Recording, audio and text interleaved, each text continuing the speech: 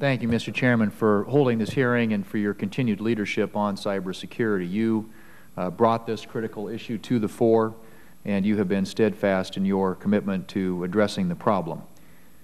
No one can deny the serious threat that we're confronting in cyberspace. Almost daily we learn of new cyber threats and attacks targeting our government agencies and the companies that drive our economy. We must find solutions that leverage the innovation and know-how of the private sector as well as the expertise and information held by the Federal Government. And given the escalating nature of the threat, we should look for solutions that will have both an immediate impact and that will remain flexible and agile into the future. In keeping with that task, in March, this committee held a joint hearing with the Homeland Security and Governmental Affairs Committee not long after the President issued his cybersecurity executive order in February. Today, we're here to examine the National Institute of Standards and Technology's implementation of that portion of the executive order pertaining to the cybersecurity partnership between the private sector and the Federal Government to improve best practices in cybersecurity. The feedback we have heard from many in the industry regarding NIST process has been fairly positive so far. We're also here to examine the legislation that Chairman Rockefeller and I have introduced. After soliciting feedback from industry stakeholders and our colleagues, I think this bill strikes the proper balance to ensure that what develops is industry-led and a true partnership between NIST and the private sector. It also ensures that NIST's involvement in this process are both ongoing in order to maintain the flexibility and continued innovation that is necessary to meet such a dynamic threat. Our proposed legislation also includes needed titles to improve research and development. We should not underestimate the value of R&D. As I've mentioned previously, I'm proud to note that South Dakota's own Dakota State University is one of only four schools in the nation designated by the National Security Agency as a center of academic excellence in cyber operations. Other titles of our bill improve education and workforce development as well as cybersecurity awareness and preparedness. I'm pleased that our office has worked with industry, fellow Senate colleagues, and other stakeholders to solicit and incorporate the, their feedback in crafting this legislation and will continue to do so as we move forward. By following regular order in the committees of jurisdiction, we hope to avoid the legislative impasse from last Congress and ultimately enact legislation that will make real improvement, improvements to our nation's cybersecurity. Our hearing witnesses today include the Director of NIST and representatives from the private sector who can provide this committee with their perspectives on how the current NIST process is developing. I look forward to hearing whether our legislation is a step in the right direction to provide a partnership that is truly voluntary and industry-led. I'm also pleased that the Chairman and I both recognize that an essential component of cybersecurity is strong information sharing regarding threats. Such sharing should occur both between government and industry and among private sector actors with strong liability protections. It is our hope that our colleagues on the Senate Intelligence Committee will be successful in crafting bipartisan consensus legislation that achieves these goals. As the Chair of the House Intelligence Committee has said, according to intelligence officials, allowing the government to share classified information with private companies could stop up to 90 percent of cyber attacks on U.S. networks. It is also our hope that the Senate Homeland Security Committee can similarly work in a bipartisan fashion to make needed improvements to the Federal Information Security Management Act in order to better secure our Federal networks. If our committees can work to produce complementary consensus legislation, that would be a significant step forward in this area. Again, I thank the Chairman for holding this hearing. I want to thank our witnesses for being here, and we look forward to hearing your testimony. Thank you, Mr. Chairman. Thank you, Senator Thune. I would direct this to, to you, Mr. Gallagher. I want to commend you for NIST efforts thus far in working collaboratively with industry to address the cyber threat. We've received positive feedback from industry regarding the workshops that you've hosted and the transparency uh, of your process. The legislation that Chairman Rockefeller and I have introduced uh, authorizes NIST on an ongoing basis to facilitate and support the development of an industry-led and, and, voluntary set of uh, standards to improve security, as we've mentioned in the opening statements. In your testimony today and previously, uh, you've also stressed the importance of the process being industry-led, and I, am wondering if perhaps you could elaborate on why uh, an industry-led process will be successful and create, in the end, a better product. So thank you. I think there's three major reasons why the industry leadership is essential. Uh, the first one, uh, Art Coviello actually touched on in his opening statement, which is the, the know-how and the capacity are largely in industry. And uh, embracing that is the best way to have an agile process that in fact keeps up with this technology. It's evolving very, very quickly. The other reason is uh, that having an industry-led process vastly increases the chances that the answer is compatible with business.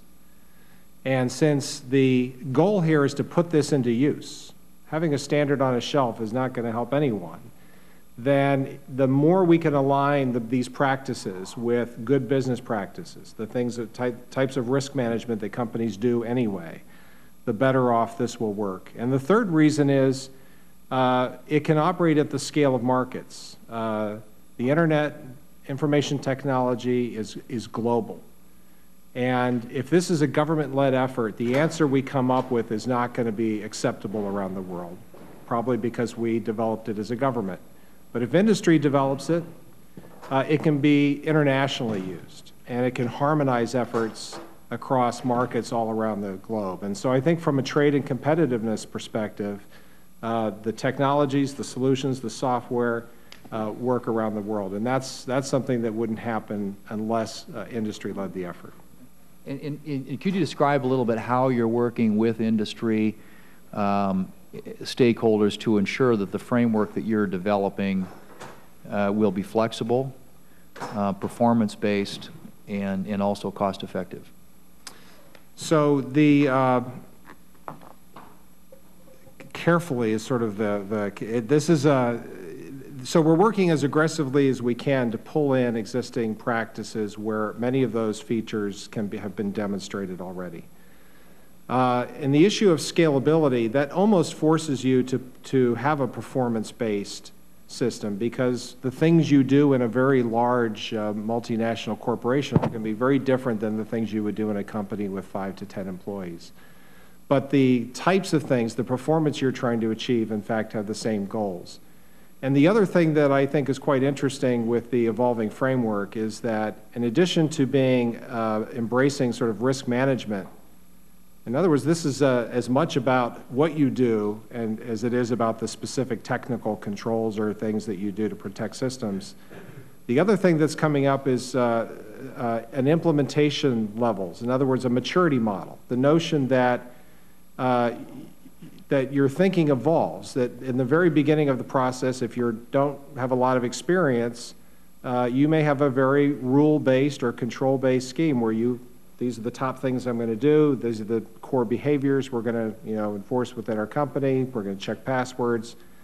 But as you evolve, in fact, what happens is uh, almost a security culture takes hold. It's about continuous improvement. It's about having the capacity to uh, look at what's happening in your system, to adjust to that, and it becomes much less about a, a rule-following type culture and more about a continuous improvement. And that's, that's being incorporated into this framework, which I think is, uh, will really support implementation because it tells a company at the beginning of the process what they need to do, and that's a different set of things that a very mature company uh, would uh, be looking at. Let me I, just uh, direct this question, if I can, to the to our industry witnesses, um, and and I'll repeat what I said. The feedback in terms of the NIST process under the EO has been generally positive, and uh, I'm curious in knowing what has been uh, your involvement or your sector's involvement in the NIST process, and if there's anything that you could suggest to the committee or to NIST for that matter to improve that process. Um, I, would be happy to start, uh, Senator. Uh, first and foremost, to, to, your point about it being industry-led, uh, just to give you an idea of the resources that can be brought to bear, um, we host, RSA hosts the largest security conference in the world. We have over 300 vendors uh, that come to our, our conference every year. So you think about the scale of capability from 300 vendors. Uh, that, uh, that attend our, our conference to have an impact uh, in, in, terms of developing this framework with the latest and greatest, most innovative technologies. I would also add, I've never seen a, a period where there was more investment from, from venture capital and others uh, in the space because it is, uh, it is such a, a, tough problem to solve. So you've got that weight of knowledge. Combined with that, um, you have the vertical industry knowledge of, of their being able to evaluate the risk in their environments, um, how to go about implementing the right technologies in a fashion that gives you true defense in depth. Now, on the other side of the equation, you have NIST, which has a, a, an excellent technical capability, bringing together those resources and drawing the best of it uh, to build that framework, and not doing it in a vacuum, but doing it collaboratively with both industry uh, verticals as, as well as the technology companies that, that provide the solutions. So this bill, uh, I think, is, is so important because it sets the right direction to get the best results. As to your specific question, uh, RSA has, has already been working with, uh, with NIST uh, to help develop this framework. We have expertise in, in the areas of, of identity management, uh, in, in big data security analytics, uh, in encryption technology, uh, and in building out the framework, uh, we bring uh, our expertise in these specific technology areas to NIST and, and to the body of, of work that is, is being done. Uh, I would add to that, and I pretty much agree with all the things that Art said, is that you know the financial industry has been very invested in this process for two reasons. One, we want to make sure there's good and productive outcome, and two, because we want to improve the capabilities of the other infrastructures that we depend on. Um, and I think the key, and I mentioned this in my testimony, is this stuff for us has to be grounded in the real world. Um, one of the challenges with some of the standards process, not so much the way that NIST works, but other organizations, is they have people who are professional developers of standards who don't live in the real world. And so from the financial sector, we had to invest our experts who know this space because we want to get productive outcomes. And this has been very good at taking that input from our expertise and, our, and others they've brought to the bear um, because we want this framework to work, because we want to use it to improve our cybersecurity and improve the maturity. That was another thing that was mentioned, the maturity scale of the various players um, in the industry. So you have large institutions that operate on large scales like mine that need to be very mature. We also have a lot of small institutions who don't actually run most of their own infrastructure. And we need to get the service providers um, that provide them the capabilities to have this level of maturity to protect, protect the sector overall and the nation's critical infrastructure. Senator, from the NAM point of view, um, this issue, cybersecurity, has become increasingly important, and it has moved up uh, the corporate ladder, so to speak, and it's now a boardroom issue for many of our members. Um, a lot of our members are participating in the NIST forum and, and find these discussions very helpful and want to see the process con continue. And I think from our perspective, the fact that we're talking about voluntary stand, industry-led voluntary standards and a public-private partnership are really key uh, to our support.